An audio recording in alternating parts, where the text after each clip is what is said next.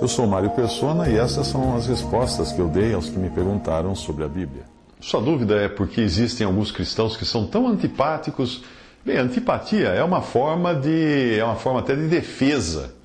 E um cristão antipático nada mais é do que uma pessoa medrosa, que constrói em torno de si uma couraça de proteção.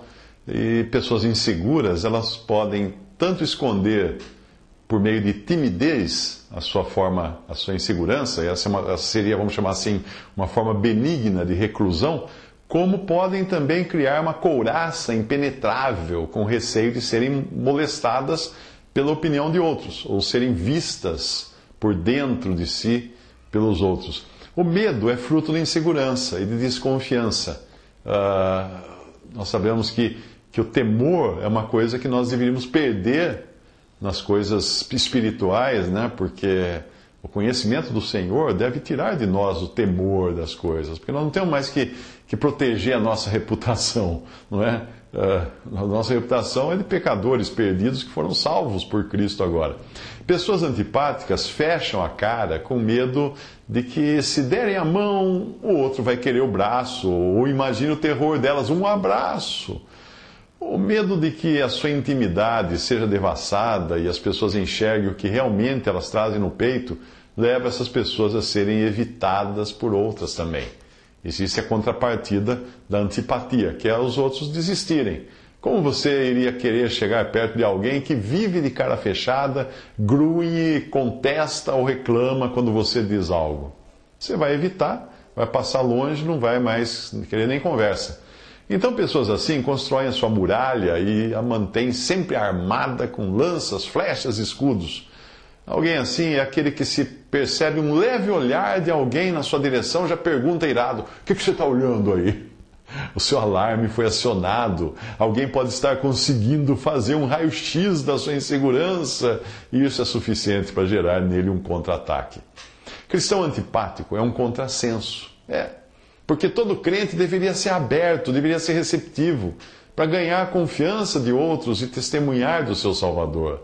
É claro que o cristão não precisa ser aberto a tudo e a todos, porque se assim, se assim for, ele acabará sendo conivente com o mal, vai baixar sua guarda contra o pecado, vai andar nas más companhias. Mas ele deve andar no mesmo sentimento, no mesmo espírito que Jesus, Cristo, teve aqui, quando andou aqui no mundo, atraindo para perto de si aqueles que necessitavam de ajuda.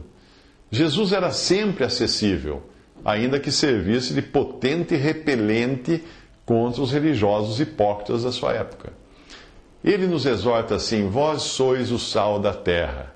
E se o sal for insípido, com que se há de salgar? Para nada mais presta, senão para se lançar fora e ser pisado pelos homens. Vós sois a luz do mundo, não se pode esconder uma cidade edificada sobre um monte, nem se acende a candeia e se coloca debaixo do alqueire, mas do velador, e dá luz a todos que estão na casa. Assim resplandeça a vossa luz diante dos homens, para que vejam as, as vossas boas obras e glorifiquem a vosso Pai que está nos céus. Mateus 5, de 13 a 16. Se você for tipo sal que não salga, ou luz que não ilumina, hum, você está com um sério problema no seu testemunho no mundo. As pessoas começarão a lhe evitar só para não levarem um olhar de reprovação ou uma grunhida de insatisfação. Quando nós somos salvos, as nossas atitudes são mudadas. O nosso temperamento também deveria passar por um realinhamento com o comportamento condizente a um filho de Deus. Eu não digo que todos os temperamentos devam ser iguais, porque cada ser humano é, é, único no seu modo de ser. Às vezes nós somos um Pedro na nossa teimosia ou um João no seu discurso de amor. Cada um tem o seu lugar e sua função no corpo de Cristo, desde que estejam sendo movidos pelo Espírito Santo e não pela carne. A frase não tenho culpa de ser assim, ou esta é a minha maneira de ser, essa frase, essa frase não, não, que, que, tenta justificar antipatia, agressividade e outras coisas, nunca deveria sair da boca de um nascido de novo. Eu era assim antes do meu velho homem ser condenado à morte com Cristo na cruz. Agora não sou mais, agora devo viver em novidade de vida. É assim que é. De sorte que fomos sepultados com ele pelo batismo na morte, para que, como Cristo foi ressuscitado dentre os mortos pela glória do Pai, assim andemos nós também em novidade de vida. Porque se, se fomos plantados juntamente com Ele na, na semelhança da Sua morte, também o seremos na da Sua ressurreição, sabendo isto, que o nosso homem velho foi com Ele crucificado, para que o corpo do pecado seja desfeito, para que não sirvamos mais ao pecado. Romanos 6, de 4 a 6. Um bom exemplo de como estar sempre aberto para ajudar os que nos procuram, consolar os que estiverem em alguma tribulação, com a consolação com que nós mesmos somos consolados por Deus. 2 Coríntios 1, 4. Um bom exemplo de como fazer isso é aquele que Paulo, o apóstolo, dava. Como poderia ele ter levado o evangelho a tantos se ficasse tentando proteger a sua intimidade ou criando em torno de si uma couraça para evitar ter seus sentimentos feridos por alguém. Né? Ele vivia na liberdade em que todo cristão pode viver, conforme descreve esta passagem aqui. Ó. Ah, porque sendo livres, livre para com todos, fiz-me servo de todos para ganhar ainda mais. E fiz-me como judeu para com os judeus, para ganhar os judeus, para os que estão debaixo da lei, como se estivessem debaixo da lei, para ganhar os que estão debaixo da lei, para os que estão sem lei, como se estivessem sem lei, não estando sem lei para com Deus, mas debaixo da lei de Cristo, para ganhar os que estão sem lei. Fiz-me como fraco para os fracos, para ganhar os fracos. Fiz-me tudo para todos, para por todos os meios chegar a salvar alguns. E eu faço isto por causa do Evangelho, para ser também participante dele. 1 Coríntios 9, 19 a 23. Uma característica do cristão antipático é que, para desviar as atenções de si, ele costuma ser extremamente crítico para com o modo de ser de outros, inclusive dos seus irmãos em Cristo. Uh, na sua segunda carta a Timóteo, que trata principalmente da condição de, de ruína dos últimos dias, 2 eh, Timóteo 3,1, eh, Paulo escreveu o seguinte na, no outro capítulo mais adiante: Tu, porém, sê sóbrio e em todas as coisas, suporta as aflições, faz o trabalho de um evangelista, cumpre cabalmente o teu ministério. Isso é 2 Timóteo 4, 5. Talvez ele soubesse, Paulo soubesse, que nos últimos dias, e essa carta fala dos últimos dias, muitos dons não estariam sendo exercitados ou exercidos pelos que os possuíam. Inclua-se inclua aí o dom de evangelista.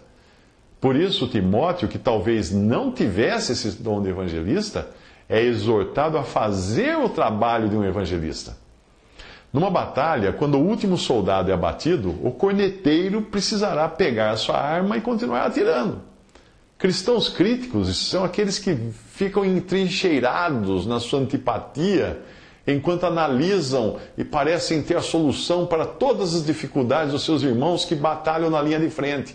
Às vezes fazendo até da corneta uma espada, já que esta talvez esteja limpa, afiada e parada na cintura do crítico que está na, na, na, na trincheira e que então o corneteiro não vai poder usar, porque o crítico está segurando ela lá. Então, se você for do tipo não só antipático, mas também crítico e que acha que um irmão não está fazendo direito o que ele faz para o Senhor, saia da comodidade da sua trincheira e entre na batalha. Simples assim. Pode ser que você tenha o dom que aquele irmão não tem e precisou improvisar.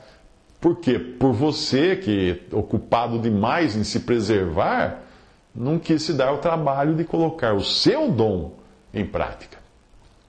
Ao invés de criticar, assuma o dom que recebeu e faça a obra da maneira mais simpática que se poderia esperar de quem foi salvo por aquele que se expôs ao escárnio dos ímpios.